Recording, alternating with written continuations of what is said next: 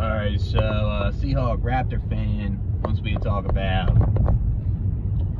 um, natalists calling, telling anti-natalists to fucking kill themselves if you don't like it in this world, you know? And then they're like hypocrites, you know what I mean? They say, oh, suicide prevention, call 1-800 hotline. And they, when you literally do it, you know? Like, we want to get out of this suffering world, man. It's like, the fuck's wrong with them, you know? Why bring someone here when someone's gonna be suffering this whole fucking, their whole fucking life, you know? It's fucking ridiculous. Tell, telling us anti-natalists to kill themselves, like, we wish we fucking were trying to kill ourselves. It's very hard to. you know? It's very hard to when it's painful, you know what I mean?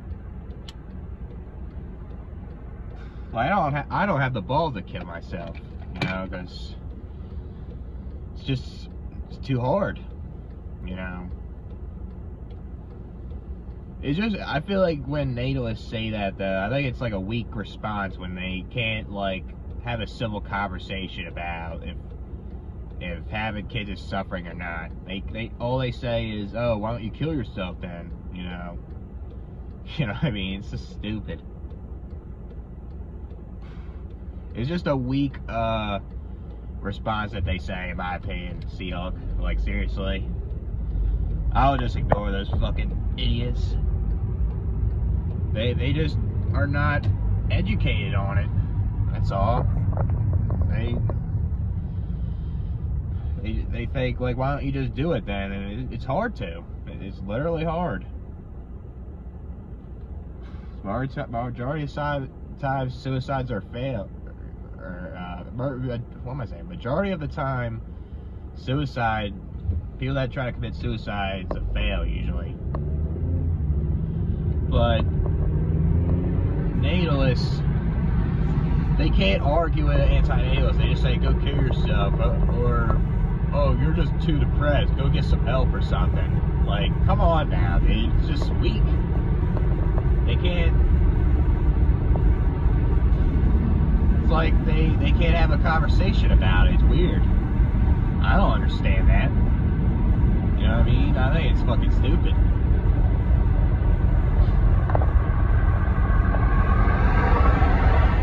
I would just ignore those people can't you can't it's like talking to a brick wall. You're not going to get like a response you know? Like i don't even i, I don't care if a natalist disagrees. Like don't say some dumbass shit like why don't you just kill yourself? or why you just need more help. You're depressed. You know what i mean?